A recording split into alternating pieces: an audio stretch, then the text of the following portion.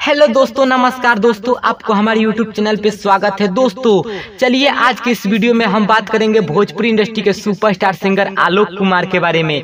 जानेंगे आलोक कुमार कहाँ के रहने वाले हैं और ये कहाँ से बिलोंग करते हैं और इनके बारे में इनकी पूरी बायोग्राफी तो दोस्तों, चलिए वीडियो को स्टार्ट कर लेते हैं और आलोक कुमार के बारे में जान लेते हैं। बता दो कि आलोक कुमार के बारे में बात करें तो मैं आपको बता दूँ कि भोजपुरी इंडस्ट्री के कई बेहतरीन बेहतरीन फ़िल्म आलोक कुमार दे चुके हैं। और आज भोजपुरी इंडस्ट्री में किसी पहचान की मोहताज नहीं है। लेकिन इनकी करियर की शुरुआत की बात करें तो मैं आपको बता दूँ कि सुर संग्राम विजेता रह चुके हैं आलोक कुमार और सुर संग्राम से ही इनको पहचान मिला है। बता दूँ कि आज भोजपुरी में 200 से ज़्यादा फ़िल्म में ये गीत गा चुके हैं दोस्तों। वही दोस्तों, इनकी फिल्मी करियर की बात करें तो मैं आपको बता दूँ कि ये फ़िल्म भी दे चुके हैं। जी हाँ दोस्तों, ये फ़िल्म भी दे चुके हैं। इनकी फ़िल्म की बात की जाए तो मैं आपको बता दूँ कि कहिया ब्याह कर वह फ़िल्म में नज़र आ चुके हैं दोस्तों। रिंकू घोष के साथ ही वहीं इनकी ये फ़िल्म 2015 में रिलीज़ हुई थी। इनकी उम्र की बात की जाए आलोक कुमार के तो मैं आपको बता दूँ कि 36 साल इनकी अभी उम्र हुई है दोस्तों।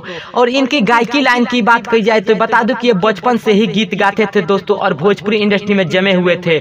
इनकी परिवार की बात करें तो मैं आपको बता दूँ कि आलोक कुमार तीन भाई और दो बहन हैं। और आलोक कुमार की पढ़ाई लिखाई की बात की जाए तो मैं आपको बता दूँ कि इनकी गाँव के ही मिडिल स्कूल में इनकी पढ़ाई लिखाई पूरी हुई है दोस्तों।